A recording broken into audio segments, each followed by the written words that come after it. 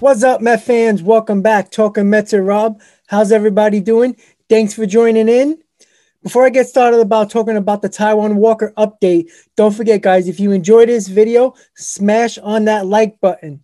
And if you enjoy all my content, want to see more, want to get those notifications when I post my videos and when I go live, hit on that subscribe button, everybody. All right, guys. Taijuan Walker to the Mets.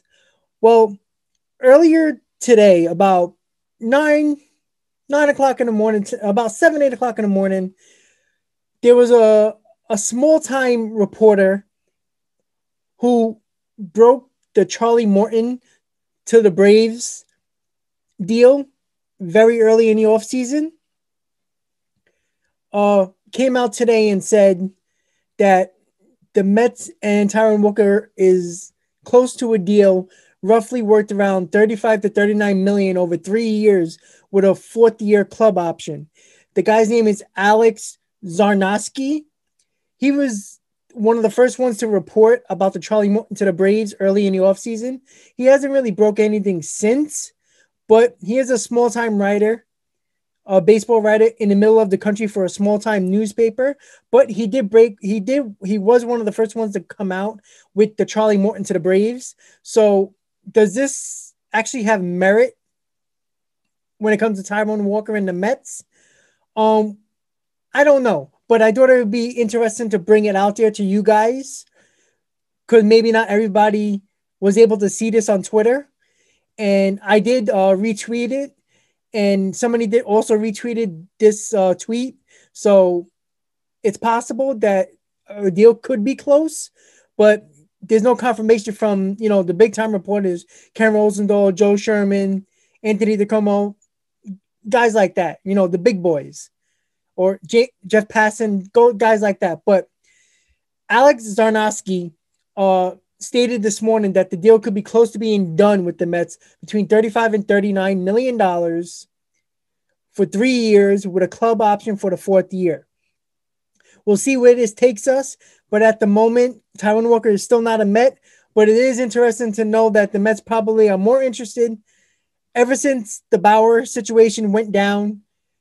They really focus on the middle of the rotation type guys like the Walkers, like the Odorizzi's that really haven't been talked about much about Jake Odorizzi, but it's still a possibility because Odorizzi's still out there and Walker's still out there. The Mets were in on Paxton to the last minute, but they didn't want to give the extra couple million dollars to get him.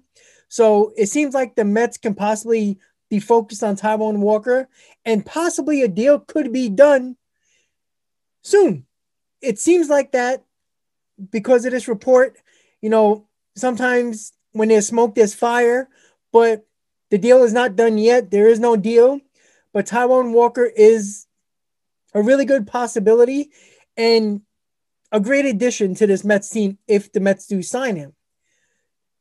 As you know, Taijuan Walker played for Seattle and Toronto in 2020, and he wasn't very good in 20 in uh, with Seattle in 2020 with a couple of games. It was about five games he played. But we're going to look at his stats in a little bit so we can go into a little bit more detail when it comes to Taijuan Walker.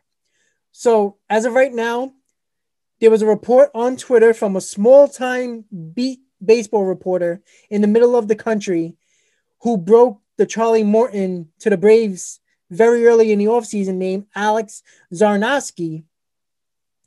He said that the possible deal with the Mets and Taijuan Walker could be between 35 to 39 million dollars over three years and a fourth year club option.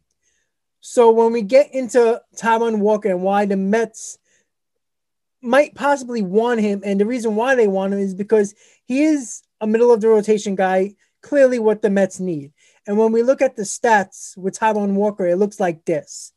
Now in 2018 and 2019, in 2018, he had uh, early in the season, in the middle of April, he had a UCL injury, and it turned out that he needed Tommy John surgery, which lost him out in 2018.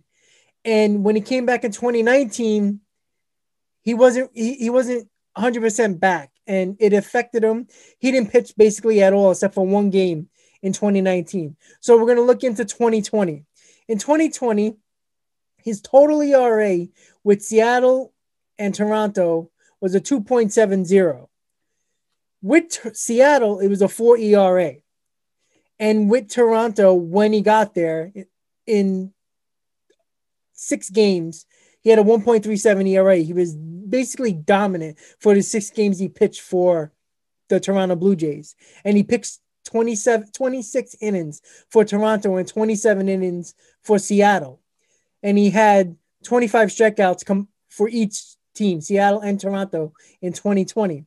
Now, Taijuan Walker isn't the obviously the, one of the better pitchers in the game, but I think he could be solid enough to be that fourth, fifth guy in the rotation, depending on what you want to do with Peterson as a fourth or fifth guy behind Stroman. Now, the Mets have a solid rotation when it comes to DeGrom, Carrasco, Stroman, Peterson. And we'll leave Syndergaard out for a little bit because he's not projected to be back until sometime in May, possibly June. Walker can just be that solid pitcher to be the the hold until Syndergaard comes back from Tommy John. I like Taijuan Walker. I was an advocate for Taijuan Walker. Even when Bauer was still out there, I thought Bauer was a ridiculous signing for the Mets, if even though they almost got him, technically, in quotation marks. But Taijuan Walker was the guy I wanted. And I think he can be a really good addition to this team. I don't know about the three, four years, but you know, he's not old. He's 27 years old, 28 years old. So even if he we the Mets do give him a three-year deal, he's only going to be 31, 32. It's not terrible. So would I want him on a three-year deal? I won't mind it, but I'd rather have him on a two-year deal. And it just gives us a little more flexibility in two years, especially when DeGrom can opt out in 2022 of his contract. And you know we have to look think about uh, extending Syndergaard and possibly Stroman. So there's a lot of things that go into that. So flexibility is a key for the Mets, especially if you sign Taijuan Walker to a three year deal. But I would prefer a two year deal.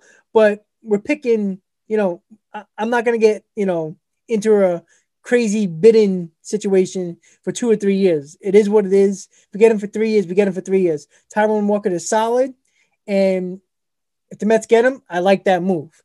Now, when it comes to his projected stats in 2021 uh, from baseball references, at the age of 28, you'd have 8 and 7, 3.82, 132 innings, 130 strikeouts, and 51 walks, 19 home runs, 56 earned runs.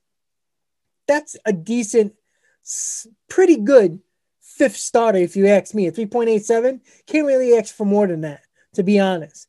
Could he be better than that? Sure. Could he be that pitcher he was in Toronto for the six games and be a dominant 1.7 ERA?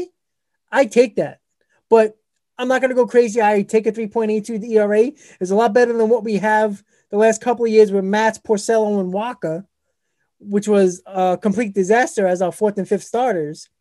But I can deal with, I can really enjoy and be confident in this rotation with David Peterson and Taijuan Walker as the fourth and fifth starter, waiting for Syndergaard to come back in sometime in May or June. That's what I like to see. And Taijuan Walker is the guy I want the Mets to get. I I like Jake Odorizzi, but I'd rather have Taijuan Walker. He's a little younger, and I feel like there's more of an upside to Taijuan Walker than there is to Jake Odorizzi. That's my take on Taijuan Walker, and that is the update on Taijuan Walker at this current moment. I want to thank you guys for watching. Don't forget, guys, hit on that like button. And if you enjoy my content, want to see more videos, want to get notifications when my videos and when I go when I post my videos and when I go live, guys, hit on that subscribe button, guys. Let's get it. I'm trying to get the 500 subscribers. Hopefully soon 1,000 subscribers. And then we're going to talk about big, big things with this channel, guys. I want to thank you guys for watching. I want to thank you guys for your support. And as always, let's go Mets.